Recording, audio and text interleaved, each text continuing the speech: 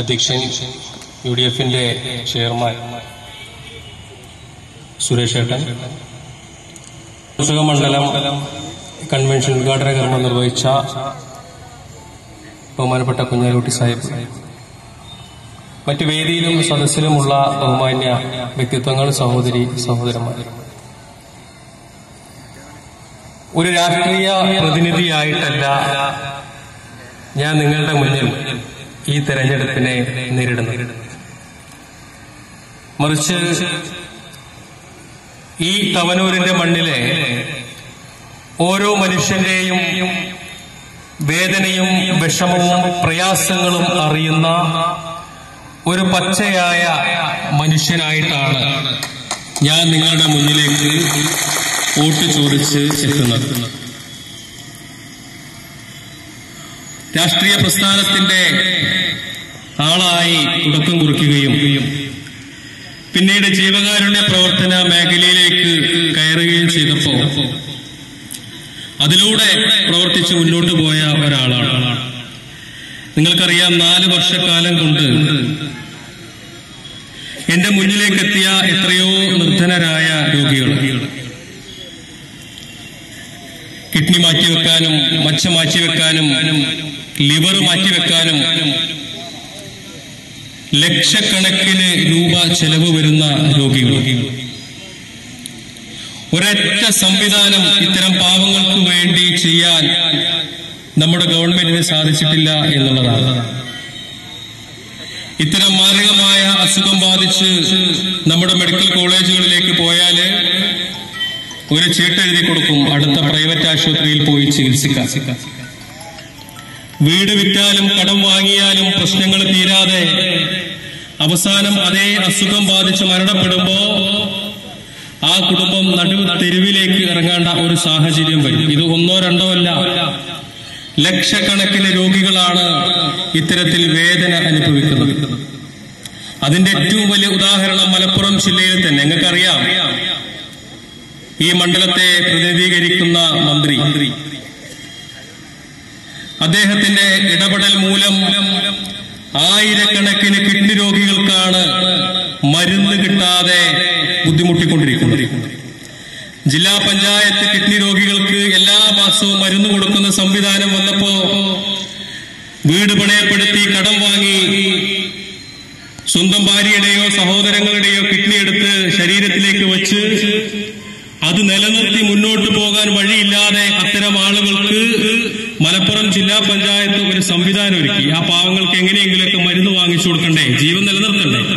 എന്താ കിഡ്നി രോഗികളുടെ അവസ്ഥ എന്നറിയോ വീടിന്റെ മുന്നിൽ ആരെങ്കിലുമൊക്കെ മരണപ്പെടുമ്പോ ഒരു ഫോട്ടോ ഫ്രെയിം ചെയ്ത് ആ മരിച്ച ആളുടെ ഫോട്ടോ വെക്കും. എന്നിട്ട് എന്നിട്ടൊരു മാലയിട്ട് തീട്ടും കിഡ്നി മാറ്റിവെച്ചാൽ ആ രോഗിയുടെ അവസ്ഥ ഒരു ചെയറിട്ട് ഒരു വീടിന്റെ ഒരു മൂലയ്ക്ക് ഇരുത്തും.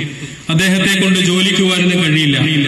അങ്ങനെ പറ്റുകയാണെങ്കിൽ തന്നെ ഒരു ജോലിക്ക് പോവും ഏതെങ്കിലും കടയുടെ മുന്നിൽ വാച്ച്മാനായിട്ട് ഒരു ചെയറിട്ടിരിക്കും ഈ ഒരു അവസ്ഥയിൽ ജീവിക്കുന്ന കിഡ്നി രോഗികൾക്ക് വലിയ ഒരു ആശ്വാസമായിരുന്നു ഈ പറയുന്ന ജില്ലാ പഞ്ചായത്തിന്റെ സൗജന്യമായിട്ടുള്ള മരുന്ന്. മനസ്സാക്ഷി ഇല്ലാത്ത ഒരു പ്രവർത്തനമാണ് കാണിച്ചത്. അത് അങ്ങനെ അങ്ങോട്ട് എടുത്തു കളഞ്ഞപ്പോ ആത്മഹത്യ ചെയ്യാത്തത് അത് ഒരു പക്ഷേ എന്റെ വിശ്വാസത്തെ ബാധിക്കുന്ന ഒരു പ്രശ്നമാണ് എന്നുള്ളത് കൊണ്ട് മാത്രമാണ് ഈ പാവങ്ങൾ ആത്മഹത്യ ചെയ്യാതെ ഇന്നും ജീവിക്കുന്നത്.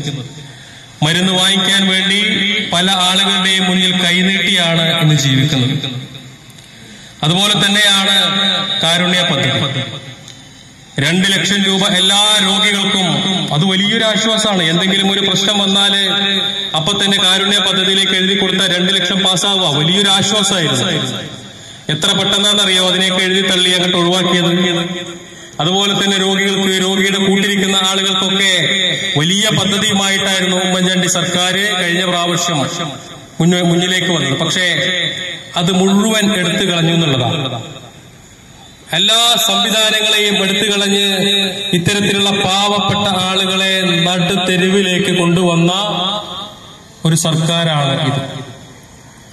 അത്തരം ആളുകളുടെ മുന്നിൽ ഫിറോസ് കുന്നംപറമ്പിൽ ഇതുപോലുള്ള രോഗികളുടെ അവസ്ഥകൾ കാണിച്ചപ്പോ കിഡ്നി മാറ്റിവെക്കാൻ ഇത്ര ലക്ഷം വേണമെന്ന് പറഞ്ഞപ്പോ ലിവർ മാറ്റിവെക്കാൻ ഇത്ര ലക്ഷം വേണമെന്ന് പറഞ്ഞപ്പോ മച്ച മാറ്റിവെക്കാൻ ഇത്ര ലക്ഷം വേണമെന്ന് പറഞ്ഞപ്പോ വീടില്ലാതെ റോഡ് സൈഡിലും അതല്ലെങ്കിൽ മറ്റെല്ലാ ഭാഗങ്ങളിലും കിടക്കുന്ന ആളുകളെ ചൂണ്ടിക്കാണിച്ചപ്പോ അത് ഈ സർക്കാരിന് അപമാനമാണ് എന്ന് തോന്നുന്ന ഒരു രീതി വന്നപ്പോ ഫിറോസ് കുന്നമ്പറമ്പിലിന് നേരെ വലിയ രീതിയിലുള്ള സൈബർ ആക്രമണം ഉണ്ടായി.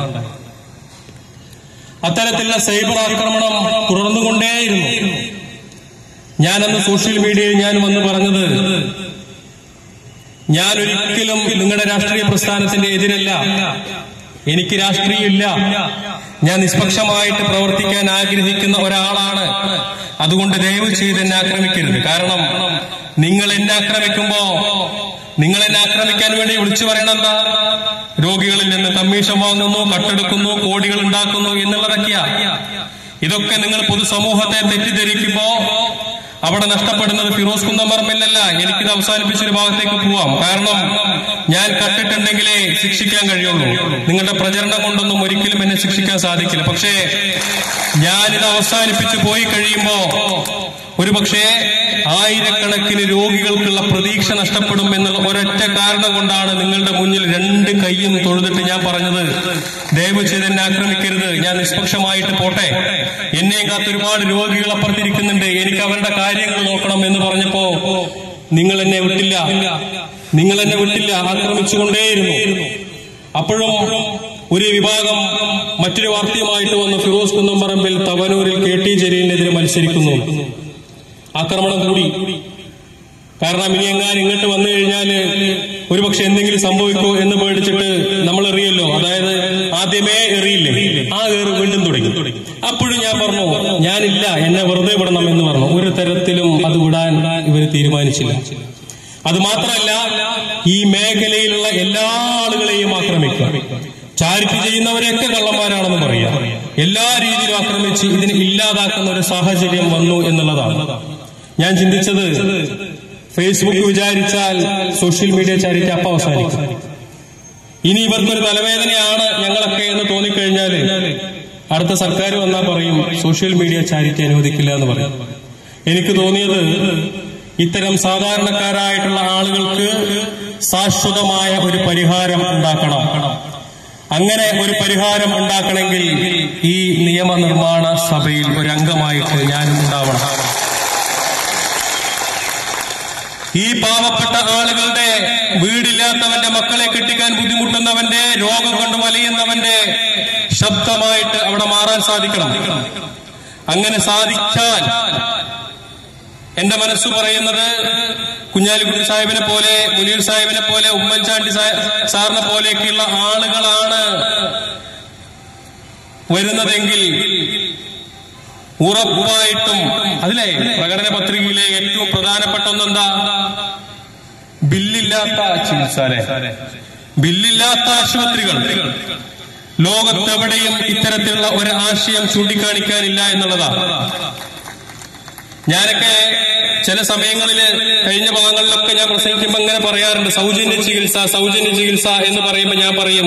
പോണ്ടിച്ചേരി ജിമ്മറിലുണ്ട് അതുപോലെ തന്നെ വിദേശത്തേക്ക് പോയി കഴിഞ്ഞാൽ ഖത്തറിലെ ഹമദ് ഹോസ്പിറ്റലിലുണ്ട് എന്നൊക്കെ പറഞ്ഞിട്ട് നിങ്ങൾക്ക് എന്തുകൊണ്ട് ഇവിടെ സൗജന്യ ചികിത്സ കൊണ്ടുവന്നൂടാ എന്ന് ഞാൻ ചോദിക്കുന്ന ആ ചോദ്യത്തിന്റെ കൃത്യമായ ഒരു രൂപരേഖ വരച്ചു കാണിച്ചിട്ട് പ്രകടന പത്രികയിൽ പറയുന്നു ബില്ലില്ലാതെ ചികിത്സ. സൗജന്യ ചികിത്സ അത് തന്നെയാണ് ചുരുക്കം.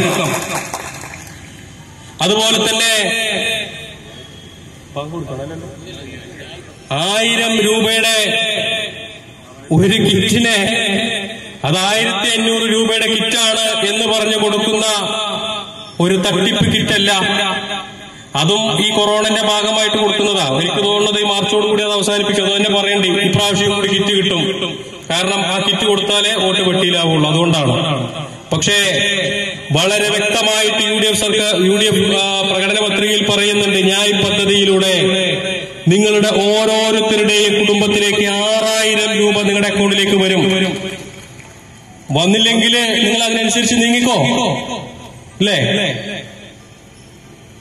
ഈ കോൺഗ്രസും ലീഗും യു ഡി എഫ് ഒക്കെ നാളെ അവസാനിക്കുന്ന ഒന്നല്ല. മനുഷ്യൻ ഈ ഭൂമിയിൽ നടത്തോളം കാലം ഈ യു ഡി എഫ് സംവിധാനം നിലനിന്നുകൊണ്ടേയിരിക്കും അതുകൊണ്ട് തന്നെ പറഞ്ഞ വാക്ക് പാലിക്കുന്ന ഒരു സർക്കാരായിട്ട് യു ഡി എഫ് സർക്കാരുമാരും അതിന്റെ ഏറ്റവും വലിയ ഉദാഹരണങ്ങളല്ലേ നമ്മുടെ ജനസമ്പർക്ക പരിപാടിയൊക്കെ? എത്ര ലക്ഷം ആളുകൾക്കാണ് കേരളത്തിലെ ചികിത്സയ്ക്ക് സൗകര്യങ്ങൾ കൊടുത്തത് പണം കൊടുത്തത്?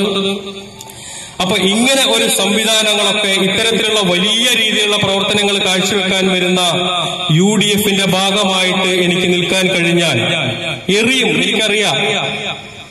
ഞാൻ ഇതിന്റെ ഭാഗമായി കഴിയുമ്പോ എന്നെ ഏത് രീതിയിലും ആക്രമിക്കാൻ ഇവർ തയ്യാറാവും ഇല്ലാതാക്കാൻ ശ്രമിക്കും എന്നൊക്കെ എനിക്കറിയാം. പക്ഷേ ഒരു പ്രാവശ്യേ മരിക്കുള്ളൂ അത് മനുഷ്യനായിട്ട് അന്തസ്സോടെ അഭിമാനത്തോടെ മരിക്കാൻ തീരുമാനിച്ചു തന്നെയാണ് ഞാൻ ഇറങ്ങിയിട്ടുള്ളത്.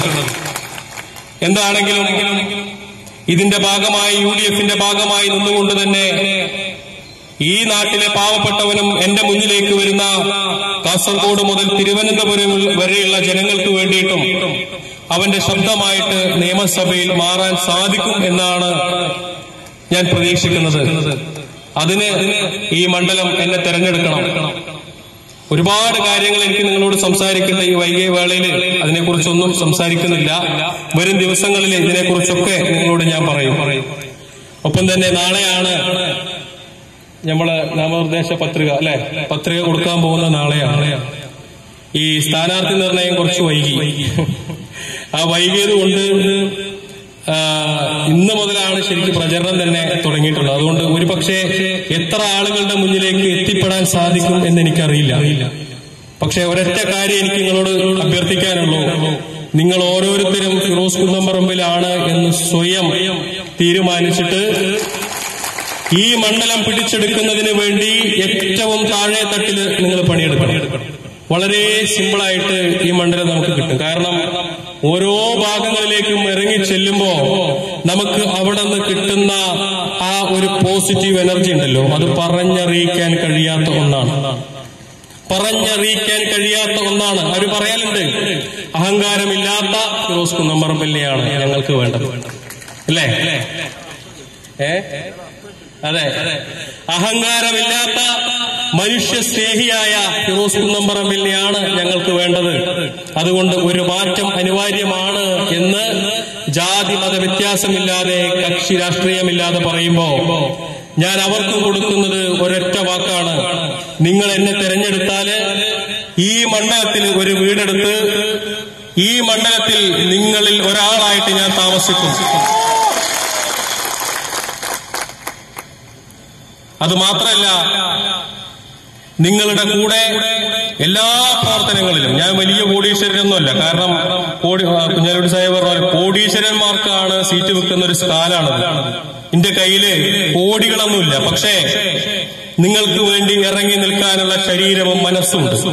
നിങ്ങൾക്കൊരു പ്രശ്നം വന്നാൽ ആ പ്രശ്നത്തിന് വേണ്ടി ഏറ്റവും മുന്നിൽ നിന്നുകൊണ്ട് അതിന് പരിഹാരം കാണാൻ ഞാൻ ശ്രമിക്കും. അതിൽ യാതൊരുവിധ സംശയം വേണ്ട.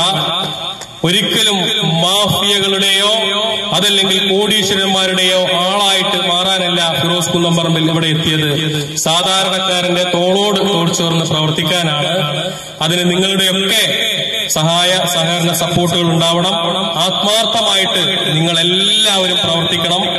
ഇപ്പോ വലിയൊരു സാധ്യതയാണ്. എല്ലാവരും പറയുന്നത് ഫിറോസ് കുന്നംപറമ്പിൽ ജയിച്ചിരിക്കുന്നു എന്നാണ്. പക്ഷേ നമ്മൾ ജയിക്കും എന്നുള്ള ആ ഒരു രീതിക്ക് പണിയെടുക്കാതിരിക്കരുത്. കാരണം ഭൂരിപക്ഷം കൂട്ടണം എന്നുള്ളതാണ് ഭൂരിപക്ഷം കൂട്ടണം എന്നുള്ളതാണ് മലപ്പുറം ജില്ലയിലെ ഏറ്റവും വലിയ ഭൂരിപക്ഷം ഈ മണ്ഡലത്തിൽ ഉണ്ടാക്കാൻ സാധിച്ചാൽ ഈ മണ്ഡലം കേരളത്തിലെ തന്നെ ശ്രദ്ധേയമായ ഒരു മണ്ഡലമായി മാറും. അത് എല്ലാ രീതിയിലും. അതാണ് ഞാൻ പറഞ്ഞത്. ചിലരുടെയൊക്കെ അഹങ്കാരത്തിന് കൊടുക്കാൻ കഴിയുന്ന വലിയ അടിയാണ് ഇതൊക്കെ. അപ്പൊ അതിന് നിങ്ങൾ എല്ലാവരും മുന്നോട്ട് വരണം.